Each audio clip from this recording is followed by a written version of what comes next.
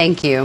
All right, we have an update for you now on some breaking news we told you about earlier today. We now know the name of the man who was charged with firing shots inside Cross Creek Mall in Fayetteville today. Police say Michael Floyd got into an argument with an employee at a pizza shop in the mall's food court around 1245.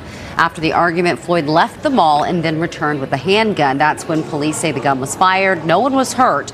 One customer who was outside the mall says he saw the suspect and held him until police arrived drew my weapon on him, told him get on the ground. At that time, he got on the ground.